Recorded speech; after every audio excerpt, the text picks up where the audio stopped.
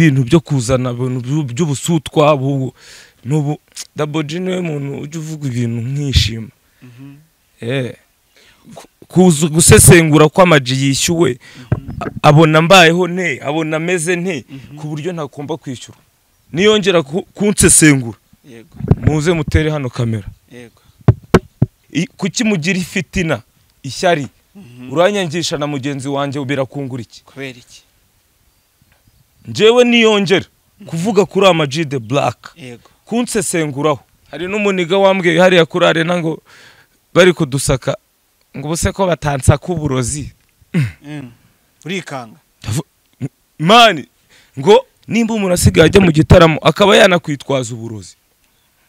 Uburozi bwo kukuroga ngo upfe cyangwa uzezengere cyangwa ube ikintu kiri aho ngaho. W'ikiwerewere. Niyo mpamvu naguze gurude yanjye. Mhm. Umwami wa showbiz reka mubabwire mumumenye Mhm. ten to ten tv turizera ko mumeze neza. Ni al na b imbere yanyu murahabona amaji the black. Amaji yego. umeze ute? Ndashima imana. Abantu bamaze iminsi batukwishyuza bati muzadushakire amaji turamukeneye tidukunda ukuri kwe. Twizere ko ibintu ari sawa cyane. Nta kibazo rwose. Ndahari. Mwa mwa. Numva navuga ngo mwamvumbuye Eh, Eh, naje rero. Bimeze bite se? Twari turabona natwe kuri ten to ten tv yego. Mm, ndabakurikirana kandi felicitasiyo nabonye muri gukora neza. Mm, murakoze cyane. Amaji mm, aha mu minsi yashize abantu nyuma y'aho ugiye kuri performance ya Bruce Melody mm. abarimo fata ku mavuta n'abandi batandukanye ah, kubyizera byarabananiye. Abo bantu kubera iki ba- baba bameze uko nguko? Baba bagishidikanya ku mubano wawe na Bruce Melody cyangwa kuri ya performance bavuga ko ari ariko ikintu nibaza ni kimwe. Mhm, abantu bifuza ko tubana neza cyangwa tubana nabi. Nimba abantu tubanye neza mhm, biba ikibazo. Mhm, tutabana neza kikaba ikindi. None se ubwo bizagenda bite? Mo hagati ni hehe hagati y'ibyo bintu byombi? Hagati ntabwo twahabona. None se nimba utahabona ubwo njye nahakurayo. Okay. Bagombaga kuvuga ibyo bashatse. Yego. Amaji yageze kuri performance ya Bruce Melody. Mhm, igitangaza kirimo aho simbizi. Sinumva icyo ari cyo. Mhm, ahubwo bagakwiye kumenya impamvu nahageze.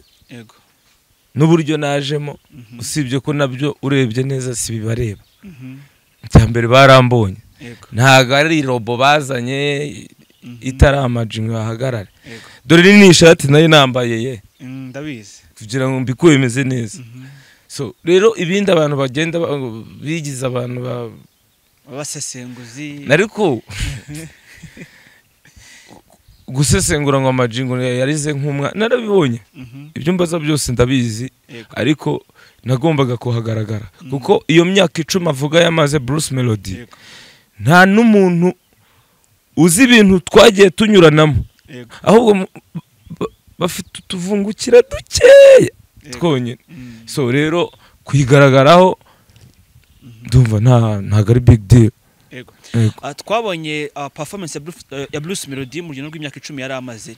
Ah, Bruce Melody mwabanye muri Black Gang Studio ah, murakorana ibintu bigenda neza. Ah, ndibuka igihe kimwe ngize kubabona mugitangira za bibiri na cumi na rimwe Mm. ahantu hamwe hano i Kanombe kuri Efotec mwaje muri performance.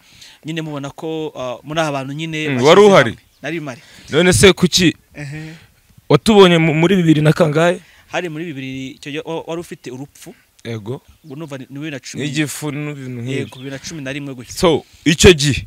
Mhm, waratubonye. Si cyabaye ikibazo. Mhm, nyuma y'icyo gihe cyose watubonanye imyaka icumi irashize Mhm. urongeye utubonye noneho twavuye muri efotec tugeze muri arena kibaye ikibazo. Kandi ubundi twe twumva ari igisubizo. Mm. amaji nyine biriya iri- iri- iriya performance Mm. ku bwawe ah, kubona iriya myaka icumi no kureba kuri stage nk'iriya nini nyuma y'igihe kinini ibitaramo bitaba Mm. ku bwawe wiyumva gute nubwo wenda umwanya wari mutoya? Uh, njyewe nyifata nka iriya ni cv ni cv yego. Ya bruce melody. Mhm, eh, y'ibihe byose. Yego. Kuko burita nakura kera cyane azavuga ati papa wanjye Mhm, yigeze kwizihiza imyaka icumi yari amaze mu muziki nuko atakarengejeho ari hiti yego. Yego. Mhm. ubwo rero mbifata nka ni ikintu nyine kitazasibangana. Mm. Mm. Ah, uherutse kuvuga ko ah, abantu dukoresha youtube channels ah, Mm. tutari dukwiye guha ah, urubuga fata ku mavuta oya Eh. mugemure umu ku bwawe nka Maji the Black Ah, iyo ubona ukuri ufite kuri situation yawe na Bruce Melody urabyumva abantu nyine bifuza ko bihora ari bibi nk'uko twari twa- twa- twari twabitangiye ariko babungukira he iyo iyo bumvishe ko njye na Bruce Melody tutameranye neza bungukira he hanyuma ikindi. Iyo bumvishe ko njye na Bruce Melody tu- tu- tumeranye neza bungukira he? Bon, ku ruhande rumwe ah, wenda ngende uko mbitekereza kuba we na Bruce Melody mumeranye neza ni ishusho nziza ku muziki nyarwanda. Kuko ah, muri abantu batangiranye urugendo rwa muzika ah, murafashanya muri byose muri hiringana. Rero ku bwanjye mbona ko ari byo byiza. Ababifata nabi si ubwo tubabwi- tubabwira iki koko? Mhm. Nta kintu umuntu afite cyo kubabwira. Ama-G Mm. nyuma yahariya kuri arena Mm. Bruce mw- mwongera kuvugana. Wenda ngubwiye Kongs ati ibintu byari bimeze neza cyangwa wenda nawe kubwira ati wakoze kuza kunshyigikira musaza. Kuko si benshi bagize ariya amahirwe yo kuza kumushyigikira kandi batanyanye urugendo ndakubwiye ngo nta kibazo kirimo. Nyuma yaho ibyacu ni ibyacu. Mhm. Eh, rero abandi bakiritika ibintu nk'uko naje mutabizi. Yego. Na nyuma y'igitaramo ntabyo mugomba kumenya. Mhm. tubyihorere. Si uko nguko Ah, tu- tu- turi gusoza aho ngaho. Muba mushaka ko Mhm. umuntu ababwira ibintu byose akabimarayo. Nanone ntabwo ari ngombwa. Igisiga cy'urwaruro kimenye inda. Sawa rero. Ari ngombwa rwose nyuma y'igitaramo nta kibazo gihari. Na mbere y'igitaramo nta kibazo gihari. No mu gitaramo nta kibazo cyari gihari. Yego. Aho utuntu tunshaka gusorezaho ah, fata we yavuze ko bakwishyuye avuga ko hari indirimbo mwari kuzasorana na Bruce Melody. Bayishyuye hehe. Mm? Oya, avuga ko bakwishyuye ari kuri performance kugira ngo uze. Mm, kugira ngo uze gushyigikira Bruce Melody. Mm. Ah, wenda sinzi mu none se wumvaga kunyishyura ari ikibazo? Baranyishyuye. None se sindi umuhanzi ukora ibitaramo bakanyishyura? Yego. None se ikibazo kirimo aho ni cyo kibazo mpora nibaza. Mhm, baranyishyuye nyine. Mhm, none se melody buriya we ugira ngo ibintu byose aba bouncer si yabishyuye? Mm, yishyuye ibintu byose nyine. Nanjye nari muri ibyo bintu. Yaranyishyuye. Mhm. kukwishyura ntacyo bigutwaye we nka Maji nanjye nimushaka Nubwo nzamwishyura. Mhm, urumva? Yego. Ikibazo cyo kwishyurwa ni iki? Mbere twabikoraga nta mafaranga arimo. Aho amafaranga yaziye tukaba twishyurana ikibazo. Mutuma umuntu atekereza ibintu byinshi.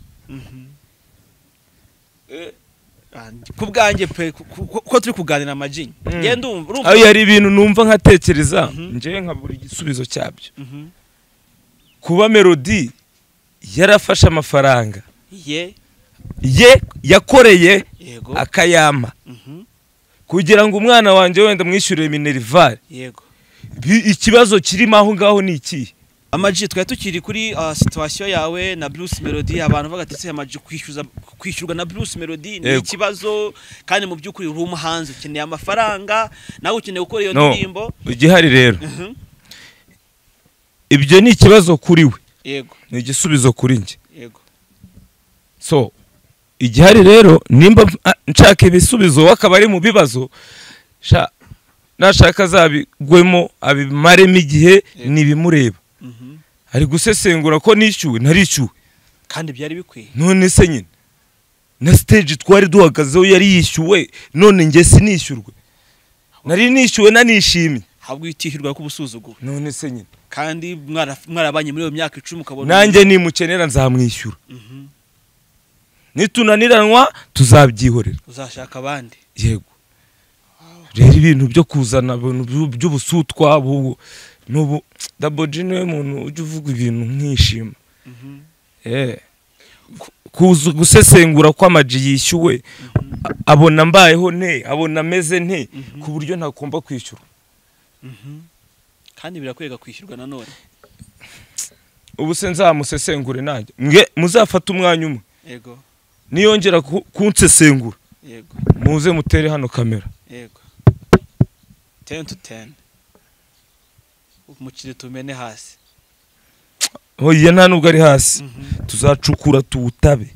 Hasi kuko abantu bawubona. Nuko zanawutora. Eh, urawutaba. Byaba byiza ugashyiraho n'umusaraba. Wowe kuki mugira ifitina ishyari? Uranyangisha na mugenzi wanjye birakungura iki? Kubera iki? Njyewe niyongera kuvuga kuri Black. Yego. Kunsesenguraho. Ubwo nanjye arabanyinjije muri gahunda y'ubusesenguzi. Yego. Ariko njye nta muntu nzasesenguraho uretse uwansesenguyeho. Mm. biriya bintu bintera ish- ishozi nka buri kintu navuga. Kuri no kuguca amazi amaji. Ntago amaji. Ngo yarize nk'umwana ngo barateruye bajugunya. Wowe waba uri muri arena bakaguterura bakakujugunya ngo hanze ngo gute se? Manu uzi ko abantu baduciye amazi mu gitaramo cy'umuvandimwe? None icyakubwira ko kuva byatangira. Nari kumwe nawe. Mm. ngo urabona ngo ahantu ngo bari bari ngo- mikorofone yawe yanjye nyine. N'umushahara wanjye. N'umuvandimwe wanjye. Na stage yanjye na performance yanjye n'igihugu cyanjye. Yego. Ukaza uzana ubugore. Sinzi ukuntu nabivuga. Mm. Mm. amaji kera habagaho ibintu bya bifu ndabyibuka ugitangira umuziki abantu hari ukuntu bagufataga bagira gute? Mani ibintu bijya gutangira. Byatangiye abantu bakereya ibintu bimeze nka bifu zo gutwika. Yego. Ariko ubu ahantu bi- ibi bintu bigeze birimo urwango nyarwango mani Mhm. ku buryo ubu wicaye ahantu ukagura ikawa ndabyumva. wajya kunyara ukagaruka ugura indi kawa. Kandi na ya yindi ikirimo narabivuze. Ko biteye ubwoba. Urumva ahantu ibintu byageze? Ko biteye ubwoba. Kandi uwo muntu mwirirwanye mu- muri inshuti muraseka ariko kugura ikawa hari indi iteretse itashizemo. Bishatse kuvuga iki nimba uri umuntu mukuru? Icyizere gike? Cyo gukora iki? Cy'uko umuntu yakugirira nabi. Hari n'umuniga wambwiye hariya kuri arena ngo bari kudusaka ngo ubuse ko batansaka uburozi Mm. urikanga. Mani ngo ntago ngo ngo ngo nta cyuma gisaka uburozi kibaho. Ndamubwira uvuze ngo ikisubiramo asubiramo inshuro ndavuga nti ibi bintu. Nimba umuntu asigaye ajya mu gitaramo akaba yanakwitwaza uburozi. Uburozi bwo kukuroga ngo upfe cyangwa uzezengere cyangwa ube ikintu kiri aho ngaho. W'ikiwerewere niyo mpamvu naguze gurude yanjye. Mhm. amazi amazi y'amaji no kunyara no kujya ahantu hose. Mba nyifite Mhm. nimba umuntu akubwira ngo ntago bafite icyuma gisaka uburozi. Mm. gusa urumva uwo muntu ari umuntu. Abakurabuye ndabyumva. Eh, n'abandi mwese mubimenye nimuzajya muba mwicaranye kontorora ikintu cyawe cyo kunywa cyangwa ibiryo byawe. Nimba uzi ko uri kumwe showbiz harimo abantu hari indirimbo ngiye gusohora. Mhm. Yitwa ngo iyo ndirimbo. Yitwa showbiz. Yego. Tuyimazemo igihe ariko twaboneyemo ibintu byinshi. Noneho hari n'uwambwiye ngo Mhm. nta n'ikintu urabona. Shuwa amaji mu myaka irenga cumi n'ibiri ngewe nkuzi mu muziki nta kintu urabona? Ngo nta kintu ndabona. How come? Bamuho niboni baragiye ureba bo bari abasanze muri game. Aba DMX bakagenda ba Barik bakagenda Likirik akagenda Black Gang Studio ikaba itakiriho wenda ari genge yawe isigaye aho ngaho. Ariko namubwira ngo nawe nta kintu arabona. Amaji byari bivuye kuki yakubwira iryo jambo? Naramubwiye ariko kuki tugira tugira inzangano muri ibi bintu turimo? Ko abantu bacuruza inyanya baba- bamwe baba- bafite imifungo yabo uw'intoryi agashyira ku ruhande ah, undi agashyiraho tangawizi undi agashyiraho tungurusumu imyembe ibinyomoro bose kandi bari ku iseta imwe. Turi gupfa iki? Ngo wowe ngo nta kintu urabona bwanshubije iki ubwo ibi ibi hamwe bikuru- ati "Ibi- ibi ibikomeye ntabwo bya- byari byakugeraho. Ibi bikuruta ibyo uri mu bungu Nabi- ibiraza eh, nabihuza na nta, mashini isaka uburozi Mhm.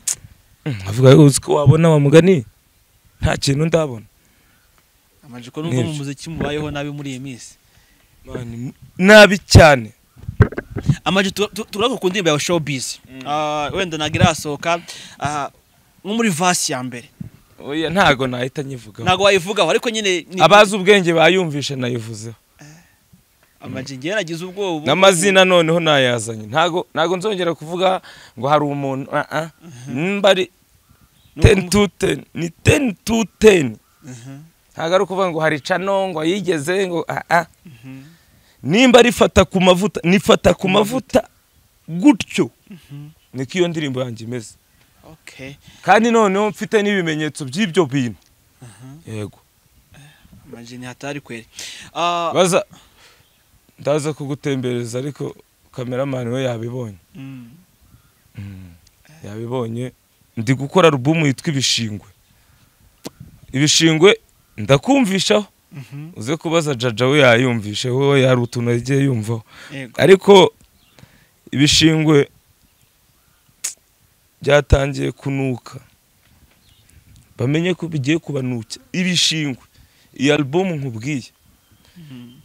iriya si bibiriya ndi kuyibona tekereza alubumu ndi kwandika nkajya no muri bibiriya gusoma ibintu byo muri bibiriya amaji uri mu mwuka rero nimba ari uko bimeze.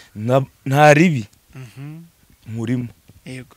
Nkasoma bibiriya nimba bavuze ngo wenda ah, yobu yahuye n'ibibazo. Yego. Nkamenya yobu byaje kugenda gute. Byarangiye bite? Nki- nkigira yobu muri ako kanya. Reka nyizanire.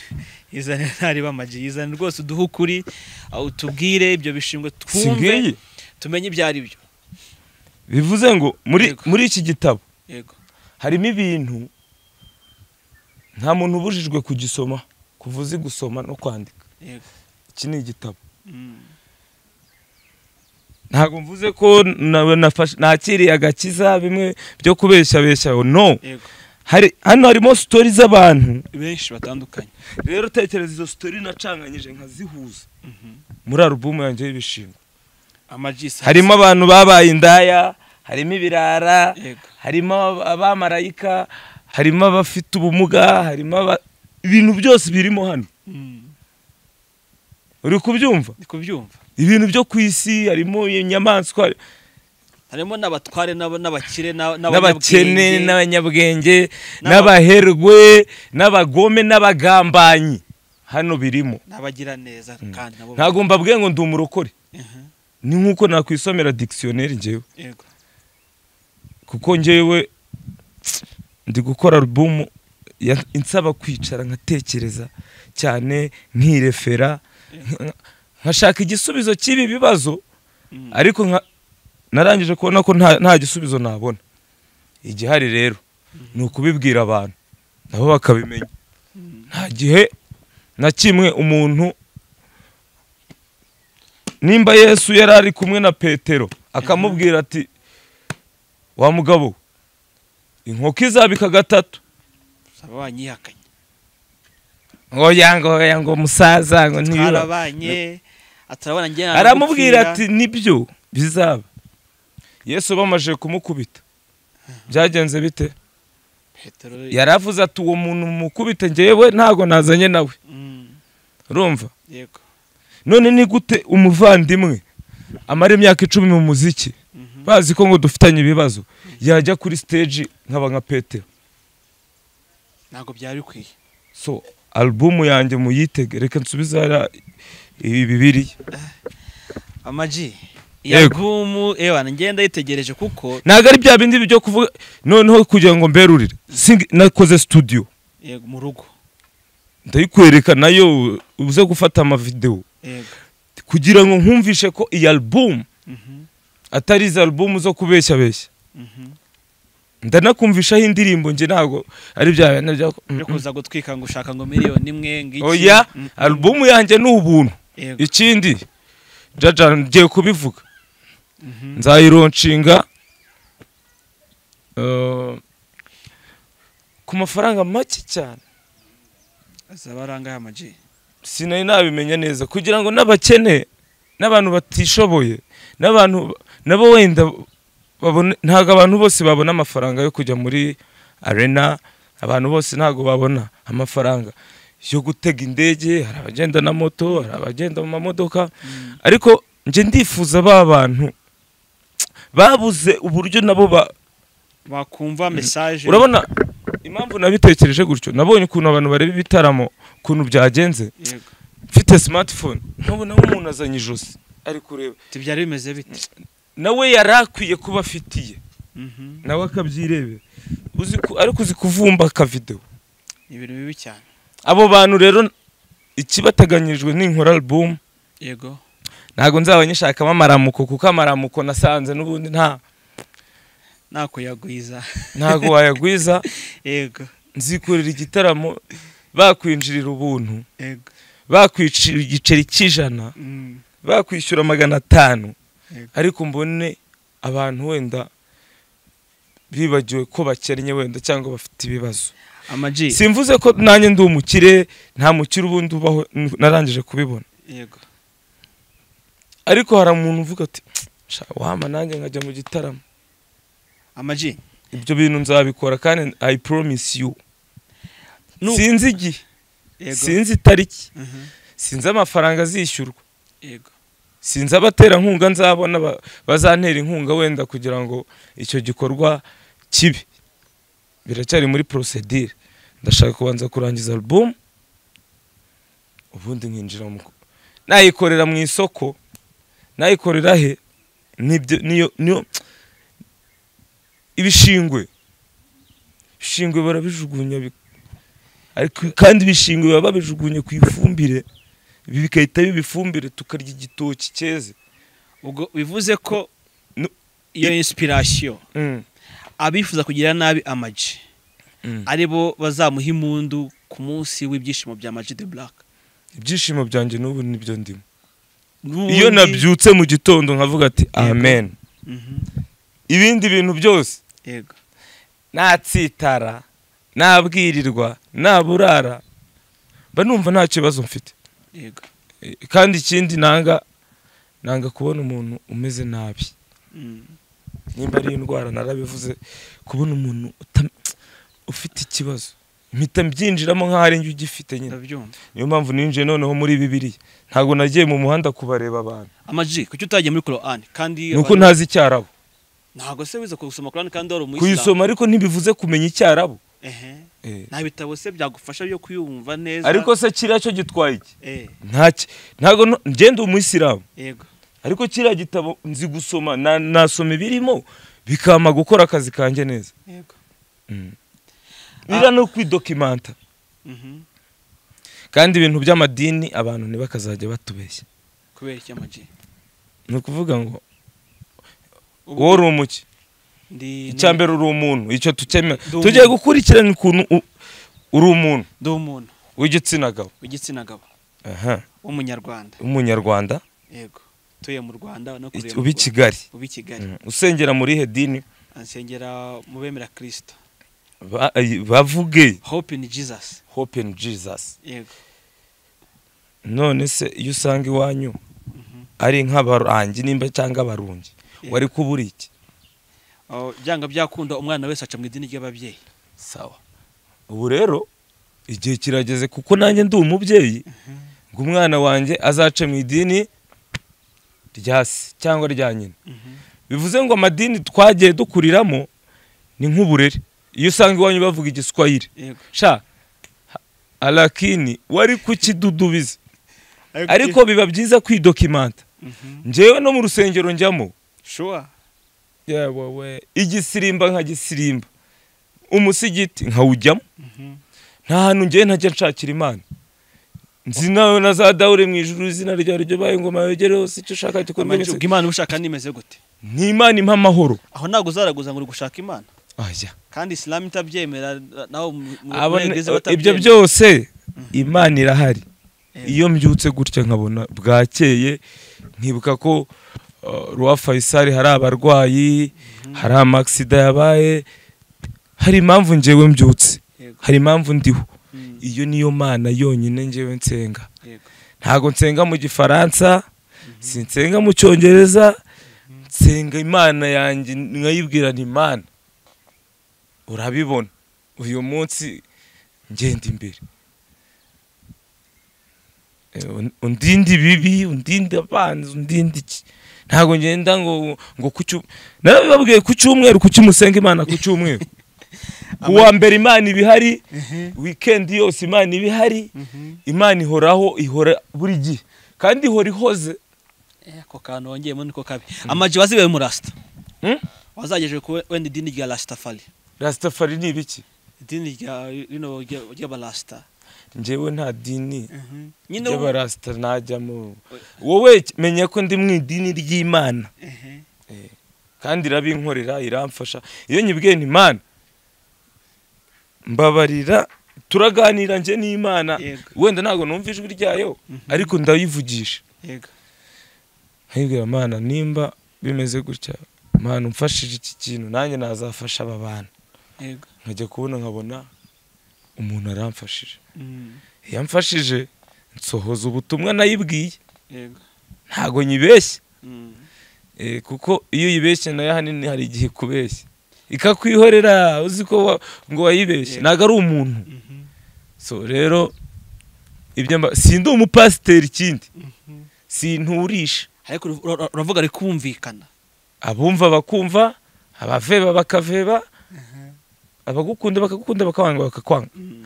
Ariko bamenye ko njyewe n'imana yanjye ntige nyibwira nti nunampamagara Yego. nzakwita bakarame Mm. eh amaji ah, hashize amezi abiri jay yatashye Ah, mu minsi yashize ah, ubwo amezi abiri yari yuzuye umuvandimwe atashye nabonye asa nk'uwibagiranye uko abantu bamucurangaga ku munsi tumenya ko yitab- yitabye imana uko twamuvugaga nyuma y'amezi abiri tura- turamwibagiwe ntabwo bigutera ubwoba ko iyi show bizi yacu mubana nk'abantu mbega batari kumwe mbega mubana ku munwa ariko mu by'ukuri ku mutima oya ariko bimeze ntukajya uca hirya ibintu Mhm. turi dushakanaho amaramuko yego na nyakwigendera ngira ngo ubwo yarabiririmbye ababyumvishe barabyumvishe Mhm. turashaka kubaho ari uko abandi bavuyemo Mhm. ariko showbiz yacu njyewe nta nubwo njye mba muri showbiz. How? Nayigiye ku ruhande Amaji, uratubeshya. mugu- mugume muri antere paranteze yanyu. Amajoro atubeshye Mhm. uri umuhanzi? Yego? Njyewe ubu ngubu ngiye kuziyita umuvugabutumwa ubuhanzi ntabwo nzi. Waraburetse se? Gute? Niba ufite igifu ukaba ufite uruhinja. urashaka ibisubizo by'ibyo bintu? Yego. Uzagenda ufata kiriya gitabo gisome. Wumve ibintu by'abantu byagiye bibabaho.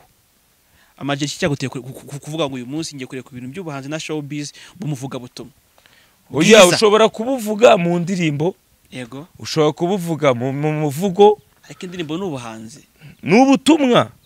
Njyewe ntabwo ari ubuhanzi bwo kogoza ni ubutumwa. Mhm. ufite icyo akuramo akagikuramo. Yego. Cyamufasha imana igashima. Hari abantu bagiye kuvuga ngo buriya ngo amaji ngo agiye ngo kwigira umuroko. No sindi umurokore. Hari n'abari bwumve ko amaji agiye gutubura kuko urumva none se hari amafaranga ngusabye? None se umuntu atubura gute? Havuga tugiye kubyihishamo nyine ubwo butumwa bwiza ugenda ubuduhe kuko wenda umaze kugira abo bantu benshi bagukurikirana cyangwa banakumva. Nabo ababitekereza barabyemerewe babitekereza. Mhm. njye n'umutima wanjye n'imana yanjye tuzi ibyo turi- ibyo ndimo ni tubiziranyeho uwundi muntu uza ku ruhande utinjiye mu mutima wanjye agumane ibyo bintu bye yego amaji mu mutima wawe Mm. iyo utekereje ibyo byose yaba ibyo bishingwe yaba iyo showbiz ah, n'ibindi byinshi bitandukanye Mm. wiyumva ute umutima wawe uha gutuza gute cyangwa uha umudendezo n'umunezero gute kandi wumva nyine harimo ibintu byinshi ibyiza n'ibibi? Nakubwiye ngo uzasome kiriya gitabo. Urumva waragisomye rega basi nyine ntabwo wakirangiza. Oya kukirangiza wakirangiza. Hoye. Ni ukuri unasubira inyuma. Hari pasiteri witwa Desire yavuze ngo ku munsi ah, ugiye ufata iminota mirongo itatu yo gusoma bibiliya byumva? Ah, mu gihe cy'umwaka ari amezi atandatu. Ndumva ari amezi atandatu. Waba uyirangije? Urumva ko ntabwo mpamanya nawe. Keretse wenda niba ushaka kuvuga ku- ku- kuyumva. Uzi impamvu ntahamanya nawe? Impamvu nanavuga ibi bintu. Icya mbere uwo mupasiteri azi ko abwiwe n'iki ko abantu bose bazi gusoma. Icyo ni kimwe. Eh, buretse se ah, ah, Eh, yego abwiwe n'iki ko ba iyo uvuze ngo umuntu uzashaka gusoma ngo azakore gutya na gutya? No. Hari n'abandi bantu twebwe dusoma tukaba twabibwira abantu. Kandi ntabwo wababwira bibiliya ngo nyiguhereze uyibabwire irangire. Ikindi noneho hari abantu bifitiye ubumuga bwo kutumva. Nabo wenda akaba azi gusoma ariko atumva Bibiliya ni ibiryo biri ku isahani twese tugomba kuryaho kandi ntabwo ngo wa- ngo wayisoma igihe kingana iki? Amezi atandatu. Kuyisoma nyine kuyisoma. Kandi utarize. Oya tu- iki kintu tucyumvikaneho neza. cyumvikaneho nyine. Umuntu utazi gusoma no kwandika uri kudukurikiranya Ehe. bibiliya wayisoma igihe kingana iki? Utazi gusoma. Amaji abantu bajyana bibiliya mu nsengero. Mm. hari n'uwifata kumva nta kibazo gusa atanayisoma. Amaji ntabwo bibaho ibyo bintu. Yewe we yewe we ntabwo nabyemera ahubwo wowe ntabwo ubaho Eh, umuntu akaba nk'ubu nkayibwira umuntu nkavuga muri yego. nkajya muri matayo Mhm, akayikunda akaba ayifite gusa. Mhm. ahubwo akagira n'umuhate wo kumenya kwiga gusoma. Akaba yabimenya noneho akajya noneho abishyira mu bikorwa akareba ati koko yobu yagize ibibazo. Eh, rero abantu ba- ntabwo bazi ko abantu bose bazi ko ibintu byose bimeze neza. Nta- kibazo. Ni nko kumbwira ngo ngo utwaye indege neza. Yego. Ngo wa- wagera dubayi mu minota mirongo ine. None se wowe urabimenya uzi gutwara indege? Icyo ni cyo cya mbere. Ahubwo nakubwira nti wize indege neza. Wajya ku kigo bigishaho indege ukabanza ukayiga. Ukamenya uko bikorwa. Eh, noneho rero wazajya gutwara indege. Ukayitwara neza nk'uko babikwigishije ukagera dubayi iminota iyi n'iyi bo barashaka urana indirimbo iyo turirimba hari ikintu cyitwa yego. Outro ni cya gihe wumva umuntu indirimbo iri kurangira bo ni ho bari. Mhm, kandi njyewe mu mutima wanjye ndi muri intro introduction. Mhm. kumenya uko utwara umuntu mpaka umugejeje. Ku musozo Eh, banza u- ubwire abantu. Ibibazo bibaho nta muntu udafite ibibazo ku isi. Nta n'umwe byo Mm. n'ufite n'amafaranga hari igihe akubwa agashaka kujya kwi- kwihagarika. Icyo na cyo kiba ari ikibazo. Nimba ari mu nama azabigenza Kiba- ibibazo biriho mu buryo bugiye bunatandukanye. Ariko wimbwira ngo umuntu yasoma bibiliya Mhm. ngo amezi atandatu. Kuyisoma wisoma nyine wisoma nk'igitabo kereka nimba yaravuze ngo umuntu ubwo ngengeye muri yego. Umuntu wize akamenya gusoma no kwandika. Yabishyizemo umurava n'umwete. Amezi atandatu yaba arangije gusoma bibiliya. Yego. Kereka nimba yarabivuze gutyo. Umuntu uzi gusoma no kwandika. Yego. Amezi atandatu azi n'ikintu ayishakaho yego. Yaba yabirangiye. Amaji nshaka kubaza iki kibazo. Ah, abakristo Mm. twizera ko gusoma bibiliya ni kimwe. Banza usesengura iyo nshinga kwizera. Kwizera? Habaho icyizere? Kandi habaho icyizere gike na cyo kibaho kibuga Eh, ndabizi. Mwizera ko? Twizera ko. Ubwo Mm. ndavuze muri rusange. Eh, Ah, gusoma bibiliya ni kimwe mhm, no kuyumva ni ikindi. Kumva bibiliya mm. Bisaba kuba uyobowe n'umwuka wera. None amaji asoma bibiliya nk'uyobowe n'umwuka wera cyangwa asoma bibiliya nk'uyobowe n'umwuka uri muri amaji. Bibiliya nyisoma kubera akazi. Kumenya ibintu bavuze muri bibiliya nkaba nabishyira muri puratike yo gukoresha umunwa. Ariko ntabwo nyisoma nk'umuntu uyizeye cyane. Nsoma ibintu birimo bishobora kumfasha mu kazi kugira ngo ejo mbeho. Ubwo rero ubwo rero iki uhagaze he nyine aho ngaho? Kuko mpagaze hano. Amaji dufate urugero. Wishaka kunjyana mu bintu by'amadini? Nako kujya mu bintu by'amadini kuko uzasenga azasenge udasenga azabyihorere amaji. Ibyo bintu ngewe iriya bibiliya sigurwa se? Iragurwa. None se ubundi ijambo ry'imana baricuruza nk'abande barirangura nk'abande? Buriya n'amafaranga nayiguze arandya Mm. wumvaga wowe wayihererwa ubuntu ukaza ukisomera none melody ampaye amafaranga niguriye ikintu cy'imfashanyigisho yanjye Mhm. yo kugira ngo nsore alubumu yanjye umuntu arashakuje Mhm. urumva ni ukuvuga ngo uko ngenda nyisoma hari ibintu bigenda bihinduka yego amaji Mm. uri umwe mu bantu batinyutse cyangwa batinyuka Mm. kuvuga ku mashyamba utuntu tw'utubazo turi muri showbiz. Kandi baba badukurikiranye barabizi. Nzajya mbivuga kereka nimba tudahura. Amaji Mm. aho ntabwo amaze kuba kahebwa uvuga uti n'ubundi. Mm. imyaka amaze mu muziki cyangwa muri showbiz ibyo nabonye narabibonye ibyo nabonye sinzabibona. Reka noneho mbaho ukuri. Si aho hantu amaji ageze. None se kuki mutavuga ku binyoma? Abaduha ibinyoma bo kuki mutajyamo bavuga? Kuki mushaka abo kuri gusa? Ngambwira b'ibinyoma aho ibinyoma Mm. eh ni benshi cyane. Bavuge nyine rero alubumu yanjye izaba ikubiyemo abo bantu b'ibinyoma reka nk'urugero reka nk'urugero. Oya imyaka maze mu muziki. Umuziki na- nahuyemo n'abafana benshi. Yego. Ndanabashimira kuko si njye muntu wenyine ufite umunwa wo kuba navuga cyangwa kuririmba. Hari benshi bafite impano. Mboneraho no kubwira abahanzi ba- biyumvamo impano ko nakoze studio yo gufasha abanyempano nkakwihera indirimbo ukigendera nta poromosiyo nagufashamo. Mhm.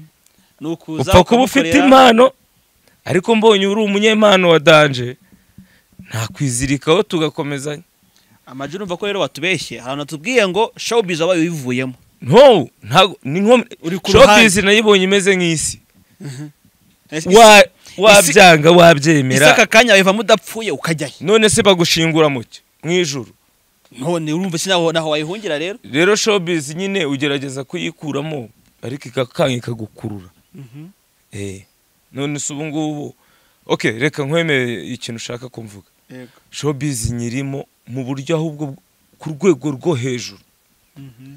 Ariko nyirimo ntameze nk'abantu bayirimo. Ni nka kwa kundi usanga abantu bambaye imyenda y'icyatsi nko muri nko muri white party. Nje nkaza niyambariye umukara. Nuko nyirimo. Ejo bundi se bagiye guhemba abantu bambaye neza? Kwa Bianca. Naje niyambariye isarubeti. Mvuye no mu kazi ahubwo. Bivuze ngo showbiz uyikomerejemo cyane. Yagutesha umwanya ikagutesha agaciro ikanagusebya ikanagukuraho inshuti wari wifitiye ikaguteranya n'abantu. Icyiza rero uyireba gutya. Muzajya muvuga aba- nabonye abatukana nabonye abambara ubusa nabonye abashima abashimagizwa nabonye ibintu byose. So igihari ni ukubireba gutyo nyine.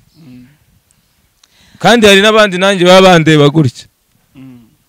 Eh, rero showbiz ni show nyine Mm. amaji. Ah, uri umwe mu bantu nyine bavuze ukuri abantu bavuga bati bya maji birarangiye. Ibiki birangiye ariko? Ibyo bintu bavuga birangiye ni presence yawe. Presence ya hesi Mhm. abo bantu bagutega iminsi just abo bantu. Nanjye ndayibateze. Mhm.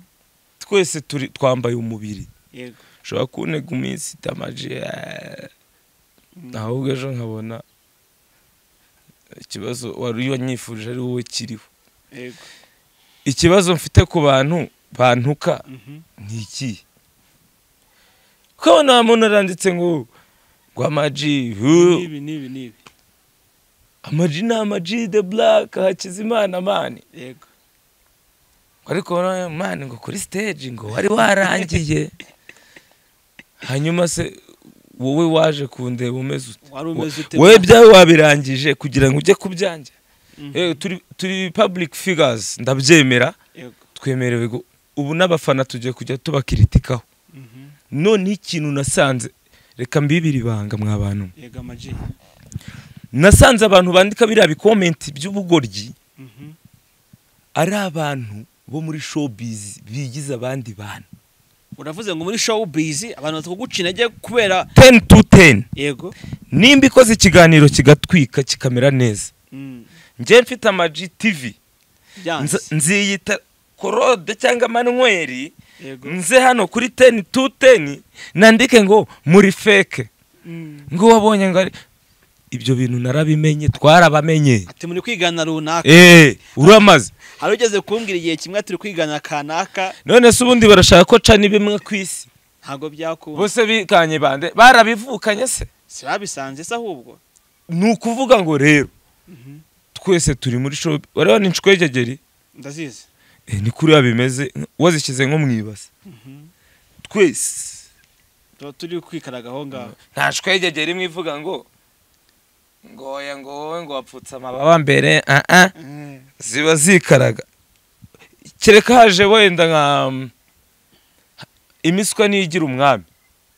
Yego imiswa ni- n'inzuki rero bamenye ko tutari twabona umwami wa showbiz. Twese turi imiswa nta nubwo tuzamubona.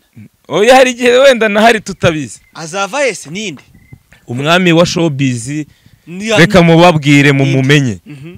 ni igihugu cy'u rwanda. Aha njyanye kuvuga ati o- showbiz umwami wayo ni abafana n'u rwanda. cyangwa nyine abaturage. Niyo mpamvu wabonye mba nza niyambariye made in rwanda. Kuri stage nta noze nari mpuze kujya gufata imyenda ya nyamirambo ya bling bling n'ibiki nta nubwo ari ngombwa made in rwanda. U rwanda rero muri iyo showbiz turimo nitu- nitutayikora neza tuzaba dusuzuguye umwami wacu.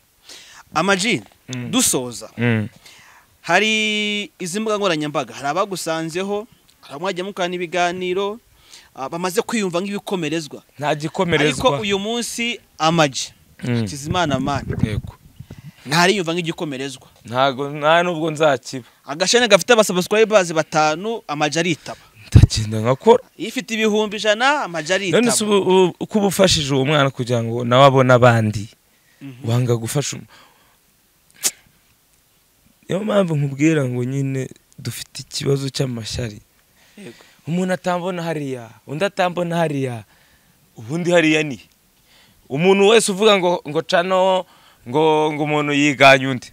Wowe ufungura instagram ntago wabyiganye umuntu. Ufungura cano ntiwabyiganye umuntu.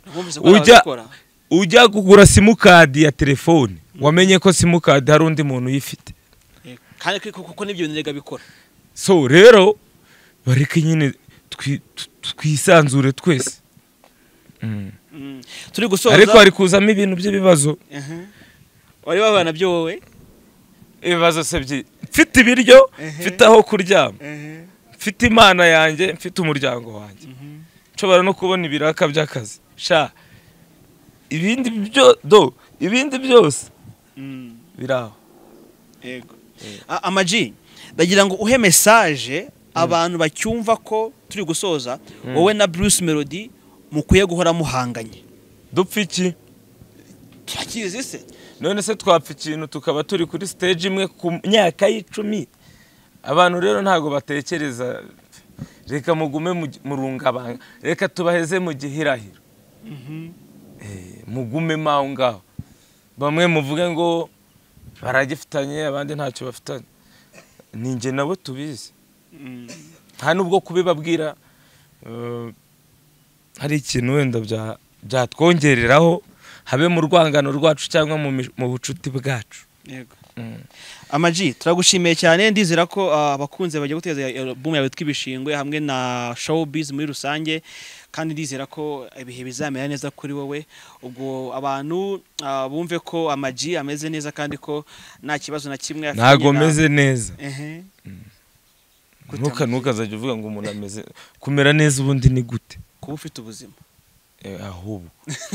Dore uzasome kiriya gitabo. Yego. Ubwo amaji aba- abahaye n'umukoro gusoma bibiliya kandi ababishaka ntago ari ingufu. Eh, abagukurikirana bakumva. Eh, yego usome nugira nk'ibibazo ugende utekereze uti kuki ari njye bigezeho? Nibikugeraho ugasoma kuri kiriya gitabo Mhm. paje runaka ukagisoma neza hari igihe uzasanga utwo tuntu twawe ari toto.